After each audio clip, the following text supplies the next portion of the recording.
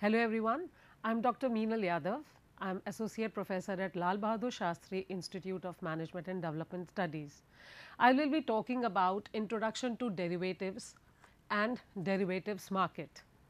Before I start this session, I would like to talk about a very simple and a very basic concept and that is financial markets.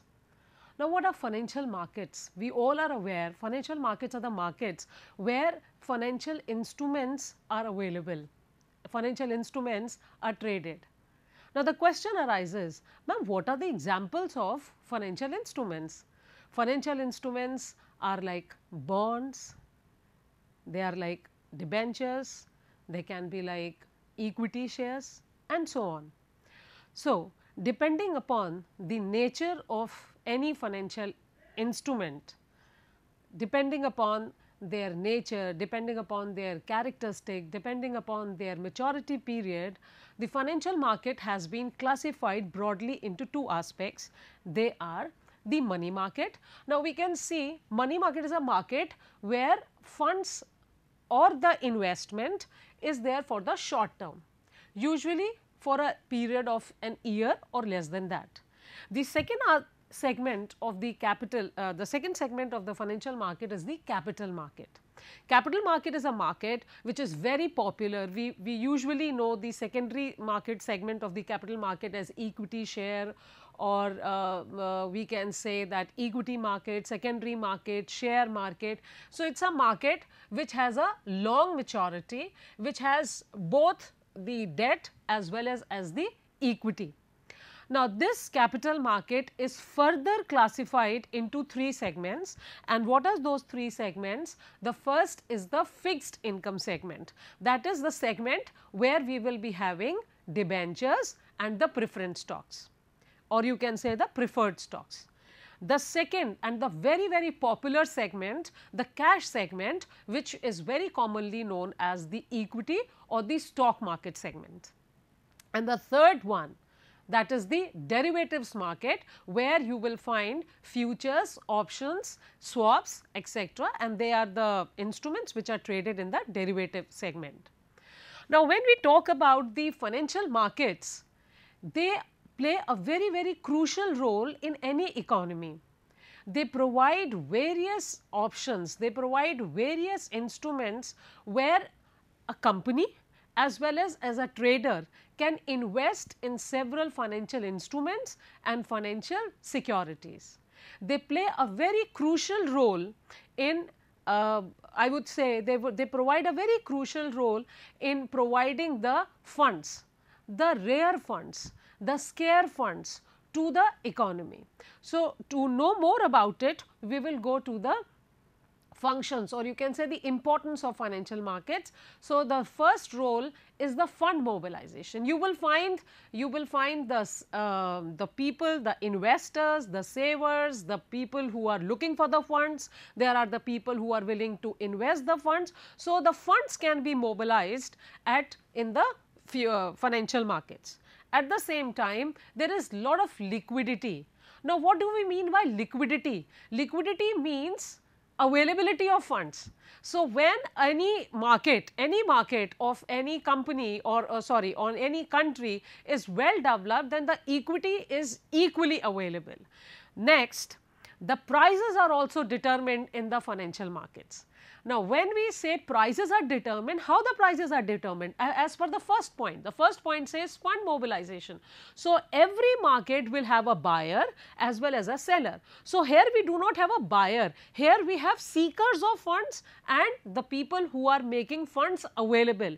So, if the demand for funds is more and the seekers are less, right. So, depending upon the equilibrium between the seekers and the suppliers. If the seekers are more and the supplier is less then the price will rise and if the seekers are less and the supply is too much then the price will be less. So, accordingly the prices of various uh, uh, instruments, various assets are available in the uh, this financial markets.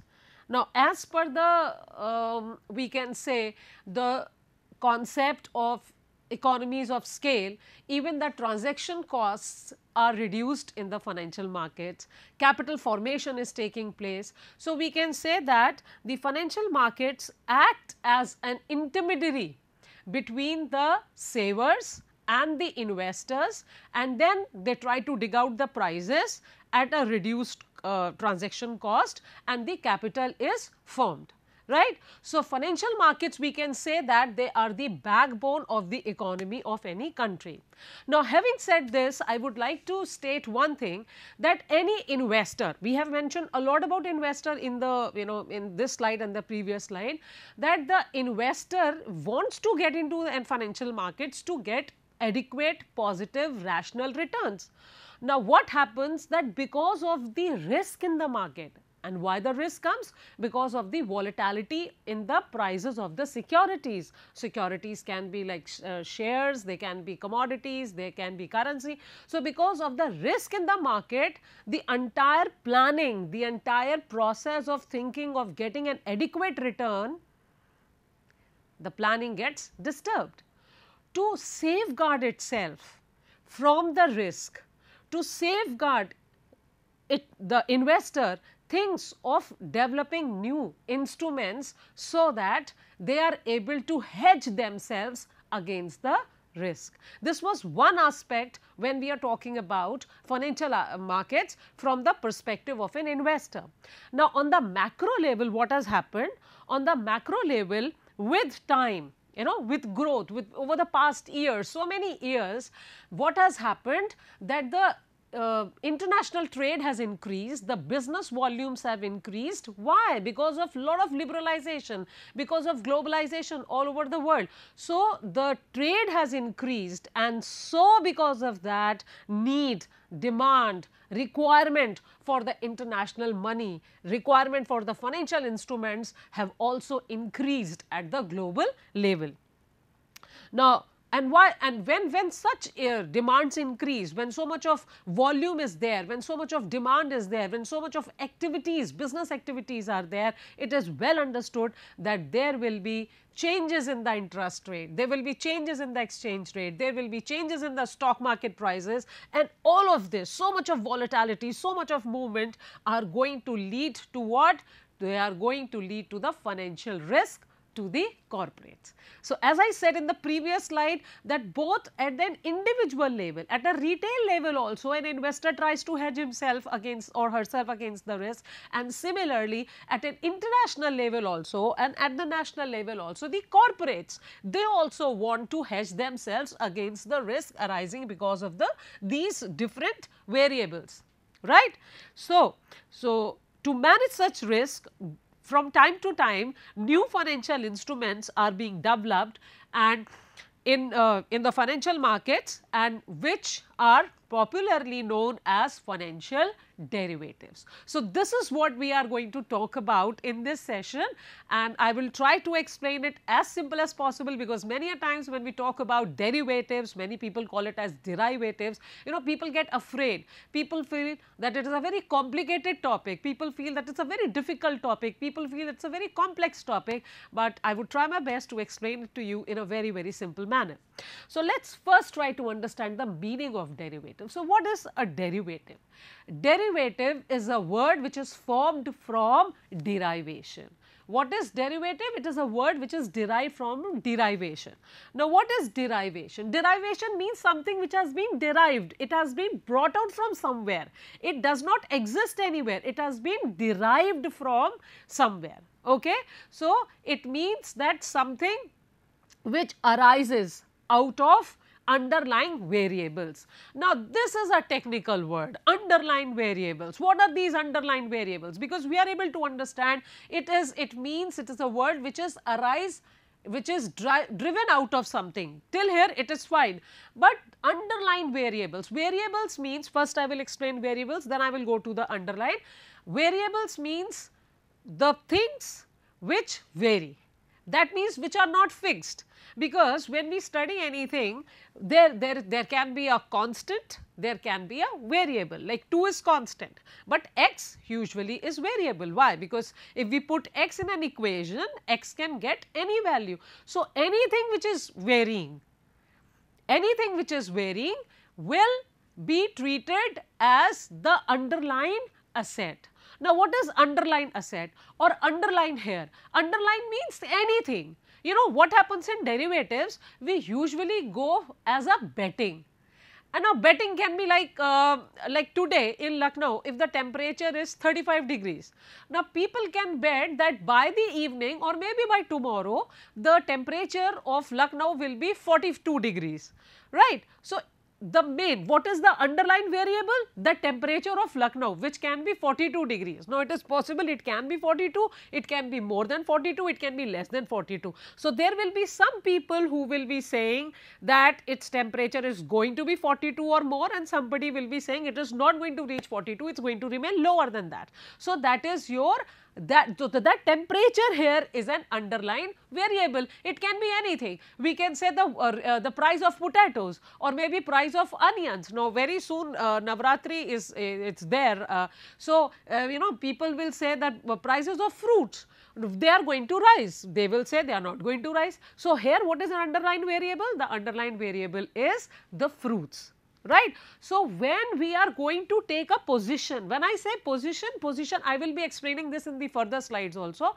The position here means whether I am trying to become as a buyer or a as a seller. So, when I am trying to take a position that is either I am becoming a buyer of a derivative or a seller of a derivative depending upon this underlying variable then we are actually talking about derivatives. So, derivatives that actually do not have their own any specific uh, uh, positions or their existence, their entire existence depends upon the underlying asset, underlying variable and that can be anything. Now, here since we are studying financial derivatives, so in financial derivative instrument, the, the values will be derived from what? The values will be derived from the financial markets. So, in financial markets what do we have? We have equity share. If we go it like that ways. Financial markets we have suppose equity shares.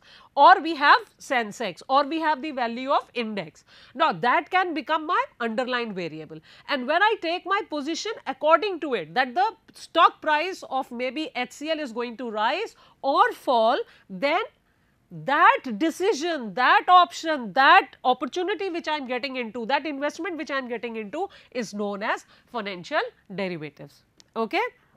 And so, as the value of the financial derivative will change you know the value of financial derivative will change on the changing in the value of the underlying financial instrument.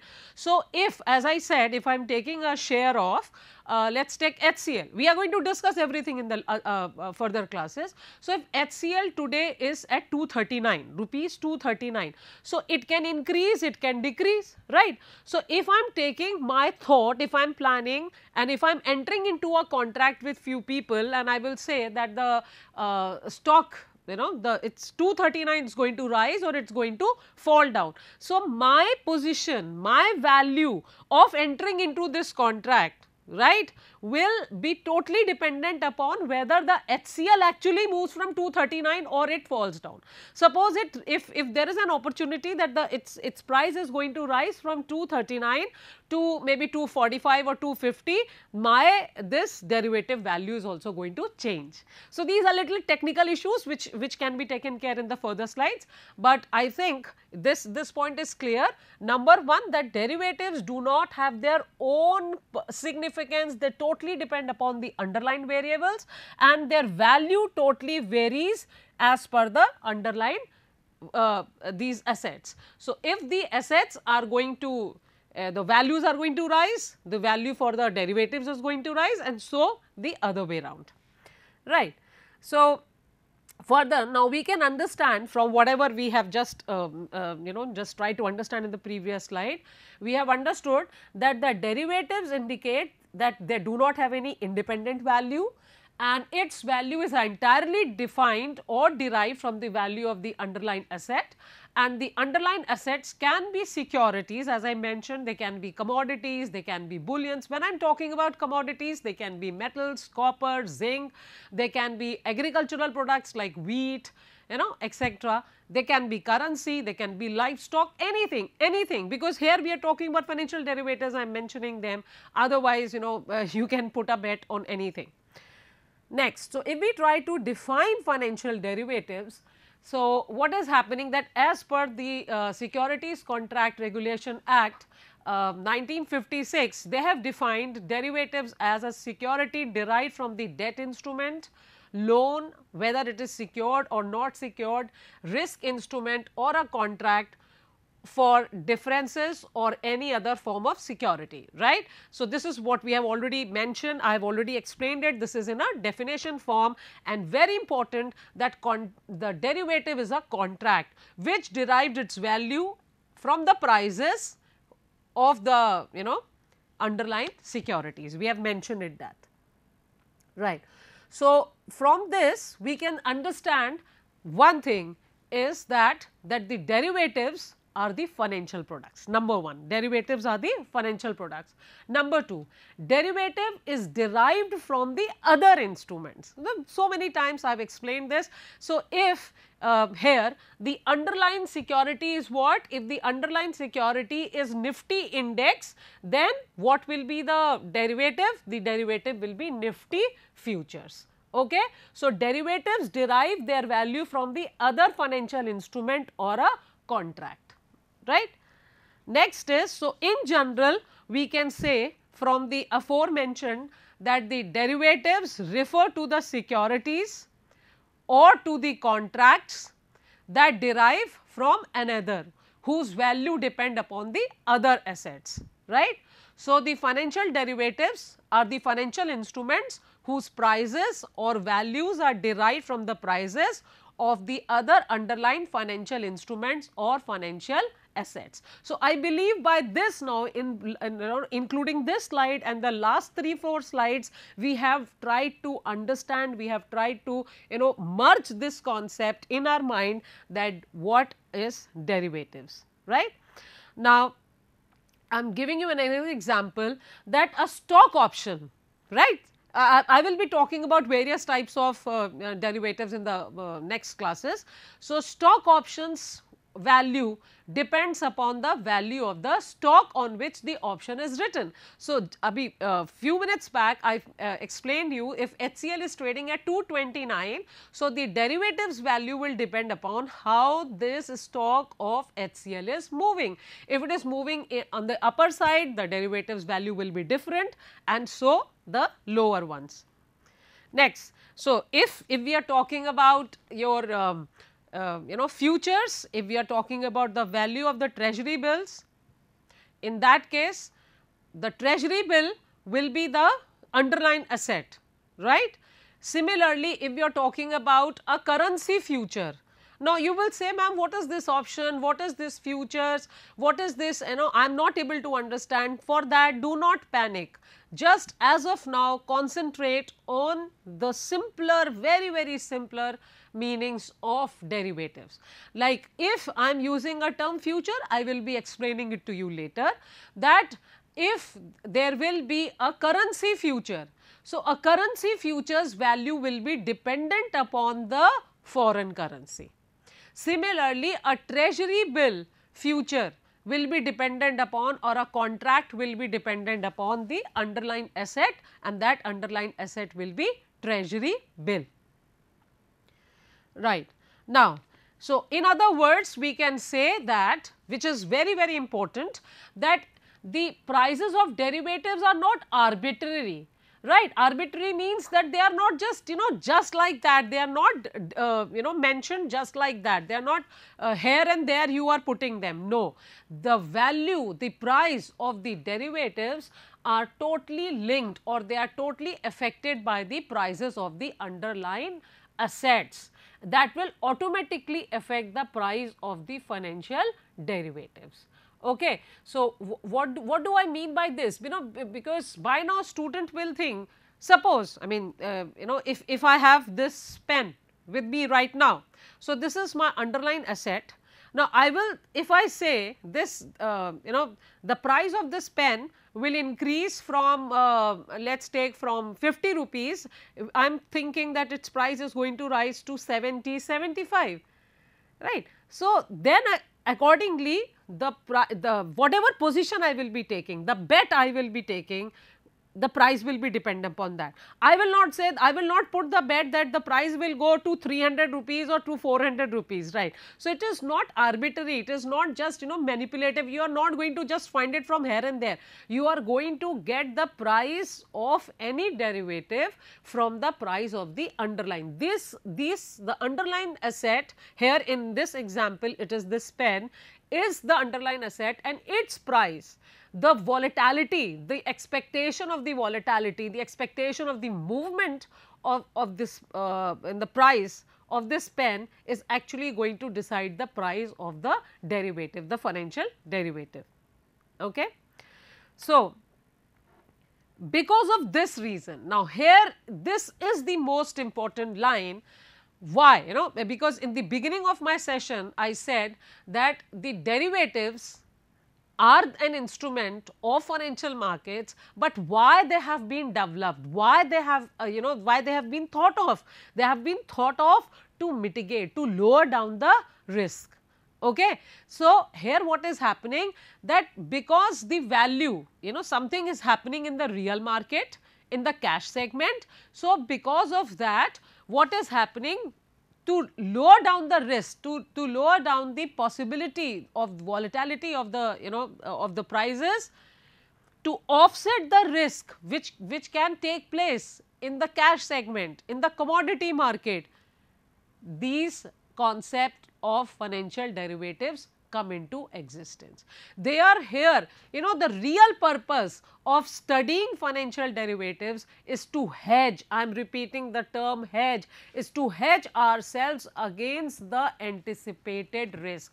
There can be a possibility of risk and you know when I say this, because in finance it is a very beautiful saying that you know people say that if there is a chance of loss, why any person would invest?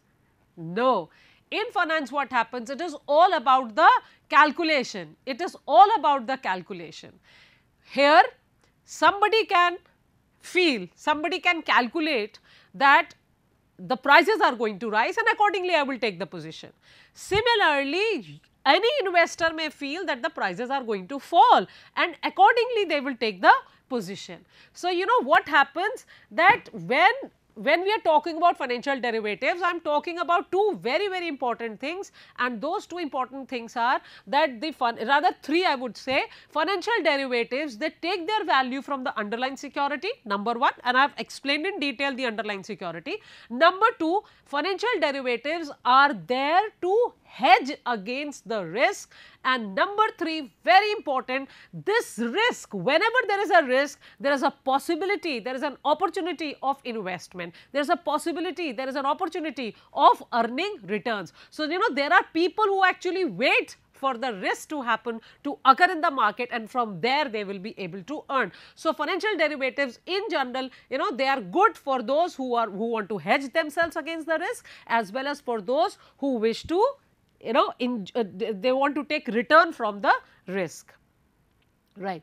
So, uh, financial derivatives now when we have understood this much very quickly we will try to understand that there are basically two types of financial derivatives oh sorry there are two types of derivatives commodity and financial. So, when we are talking about commodity derivatives commodity derivatives is actually about things goods right? And what are they can be they can be agricultural goods they can be wheat soya beans cotton they can be metals they can be gold silver etc so again further detail in the other further slides. But here we are able to understand what are commodity. When i am taking my positions when i am putting a bet on the price movement of wheat that means I am getting into a commodity derivative. When I am taking position either of a buyer or a seller on the basis of the movement in the prices of gold that means I am getting into commodity derivative. And then we have the next is type of derivative is a financial derivative. This is what we are going to understand in this entire subject. In financial derivatives, we are talking about the positions, the here the underlying assets will be the financial instruments, financial instruments like stocks, bonds, treasury bills, interest rates, foreign currencies and other hybrid securities. So, financial derivatives as I said basically includes they basically includes futures, forwards, options and swaps. So, that these all will be defined uh, in a detailed concept. So, lastly I would like to say that future contra, uh, contracts um, are the most important uh, form of derivatives and uh, to sum up we can say that the financial derivatives can also be derived from the combination of cash market instruments or other financial derivative instruments. If you think you know the last point here is that if you think that derivatives is an absolutely new concept, no derivative is not an absolutely new concept. Derivatives you know they, they exist from older generations also. They were there, they are a mixture of cash market instruments, they are the mixture of other betting instruments. And then they are combined together and then you know a concept has come. With time you know as as we know that earlier there was test matches. There were test matches in cricket. Then then there was this uh, one days and then one days day and night matches and uh, you know the with white ball and everything and not 2020 has come. So, similarly financial derivatives are not absolutely new concept you know. They, they were there but they have been brought into practice more and more just because of the need of an hour and need of an hour is because of the globalization, because of so much of porous movement all over the world, all over the globe, you require financial security. So, uh, this is what I wanted to state in, um, in this introductory session. Thank you so much.